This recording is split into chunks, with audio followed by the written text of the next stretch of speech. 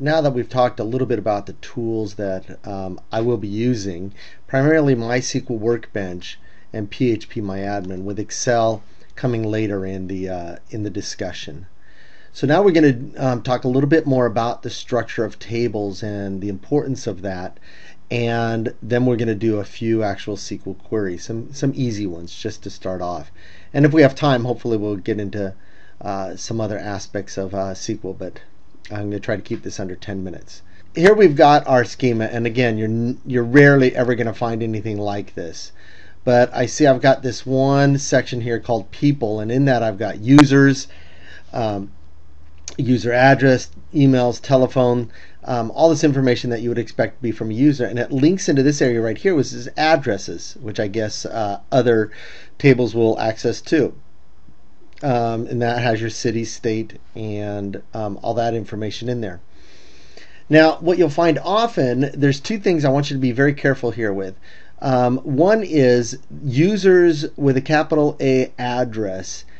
These are very, very particular, and this um, tutorial is not going to talk about database uh, creation or structure, but you need to be aware of, of issues like this, and these can very easily get out of hand. So you want to be aware of, of those kind of issues. Now, the reason that this was designed this way, and it's a little over the top, is you have here these users. Well, not, why not just put their email, their telephone number right in this table right here? And the reason is is that this user has a unique username and password and display name, um, and that is unique for every user. Now they can have multiple emails. So this person can have three or four emails all tied to that one user. Same with telephone, same with address. And that's why they're separated here. You don't want users uh, with a blank field for emails for those who don't have emails, and you don't want multiple users for each email that a user may have. So that is the way this is designed, and that's the way it should be. Now, this is a little bit of an overkill here. In here, we say we have an address with a link to city. This, what this is saying is, I'm going the other way, and I'm saying I'm only going to allow cities that are in this table right here. Well, what if there's a Long Beach, California, and a Long Beach, New York, which there are? Um, what's so special about having that? Now, you might want to just have the city in here, but you do want to constrain it by state so that CA is always representative of California. You don't have some people saying CA, some people saying California. That makes a little bit more sense. City is a little bit of an overkill, um, and maybe you'd have that in a different table with composite primary keys. But anyways, that's kind of the design here. Now, we when we go over to MySQL Workbench here. Here we described our auth item child. Um, without getting into any details as to what this is, um, I just want to show some of these things here. Now we have auth item child in our e-commerce database.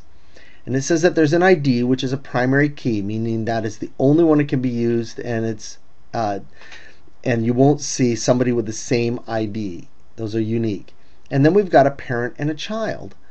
Well, one one of the things I want to know is where do these go and what do these have um, relationship to? This is where I think PHP admin is actually a little bit easier. If I go to the e-commerce database and I go to the auth item child here, I'm looking at the structure here. And again, I could see the same thing that I could see in the describe, but now I can look at the relationships. And I could see, oh, this parent has a foreign key. It links to auth item name, as does child. So they both link to this auth item name. And what this foreign key does is it says that when I insert into parent, I can only insert things in that already exist in auth item name. And on delete, everything will delete. So if I delete that auth item name, this row will get deleted too. Again, this is not part of SQL programming, but a little bit of a database understanding. So let's let, let's look at that. First of all, let's say I want to um, put into this auth item uh, child. Here's my here's my options here. These are the only thing I can choose from because of the way the database is set up. So I'm going to say um, uh, the parent is manage users and the child is user. Okay, now when I browse, I can see that I have a parent of managed users and users. Now what happens if I go over to auth items, okay, and I see managed users and I delete it? I've now deleted that and now when I go to auth item child you can see that there are no entries because both of them used managed users and those were deleted along with it. So that's kind of how it works and you want to see those um, you want to have an understanding of those relationships. Now this this simple understanding doesn't tell you exactly what the business logic is, but it gives you an idea of what's going on. Now let's say I'm here in MySQL and I want to get that same information. And I'm going to do that with this query here, which I don't use that often. I'll just use phpMyAdmin to see the links. So here the query is I'm, I'm going to use. First of all, I'm saying skip over to the information schema uh, database. Now that's again on my server, which has multiple databases. This is a database. You can see it right there. I'm going to use that database. I'm going to select all. That's what this asterisk key means from the key column usage where the reference table is auth item. Okay, so who is referencing the table auth item?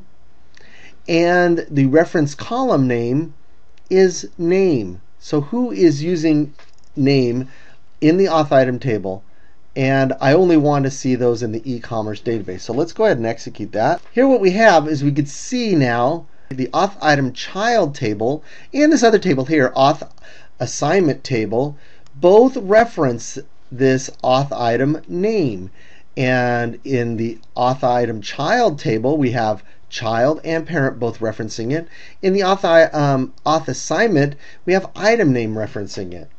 So that kind of gives me an idea of who's referencing what. Again, this is a uh, schema thing that I can maybe get some ideas about um, the logic, but this doesn't really tell me the business logic, but I now can understand the links that are in there. Now, I can absolutely have links that are not foreign keys. Foreign keys um, impose constraints. So those here, we saw those tables right here. Those foreign keys imposed constraints, meaning that if I wanted to put something in auth item child, this parent had to exist here. Now I can have, for example, parent and referencing this name, but not have any hard code links, which are what foreign keys are. So those links can still exist in a business logic that don't have a database constraint. The point of putting them in the database is to make sure that the database doesn't get corrupted. Um, the applications that write to and read from the database, really more write to the database, are responsible for that, but the database is not going to allow them to do too much damage. And that's a constant battle. Who's responsible for maintaining the integrity of the information, the database or the application? Certainly, if you put in a, a bad email address, uh, the database isn't going to know, so the application does have some responsibility. That's a lot of explaining to understand about structures and things like that. But having a basic knowledge of database structures, I think, is, is important. Here we are back at MySQL Workbench, and we're just going to do some SQL queries. We're almost out of time, so I won't be able to do anything really complicated. Again, this was just trying to understand business logic and uh, database setup. I can tell you right now, in this scene, I'm not going to do database administration, creation, adding tables, inserting information. That's not what this tutorial is going to cover. So we're just going to try to get information out. Select is your keyword. That's why it's highlighted in blue. And it's something that you're going to use a lot. Select you're going to become really familiar with. Star is a wildcard, meaning uh, give me everything. And I select from what? Well, I'm going to go from another keyword, and then I'm going to do a table. So that's my statement. Select from users. Now this didn't work. And I knew it wasn't going to work. Do you know why it didn't work? I didn't specify what database I wanted to use. Remember, I'm on a server with multiple databases, so I have to define the database. Now, I could easily, right here in this statement, define the database, and I get my information out. Um, another way to do that is just before I start doing this, I could say use e-commerce. And then I won't have to do that anymore.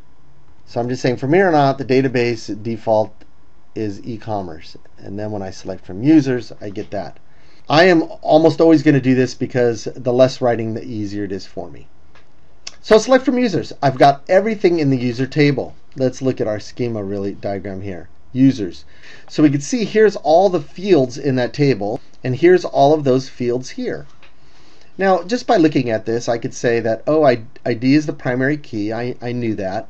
Um, I have a username and password, which looks like it's encrypted, a display name, the date that it was created, and the last day it was updated, and then a link, it looks like, to roles ID. I don't know whether this is a foreign key constraint, but it looks like it does link to a roles ID table. Okay, so that's our very basic select right here. Um, we're out of time, and so we're going to expand on select in the next tutorial.